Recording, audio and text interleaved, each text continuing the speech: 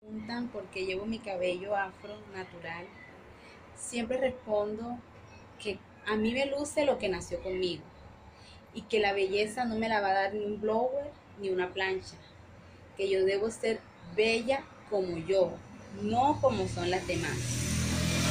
Y es que mi cabello claramente me define, manifiesta fortaleza, autenticidad, libertad y me siento muy orgullosa de llevarlo.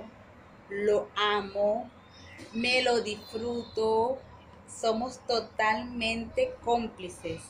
Estoy súper contenta de no estar encadenada a estereotipos. ¿Por qué? Si nuestro cabello también es hermoso.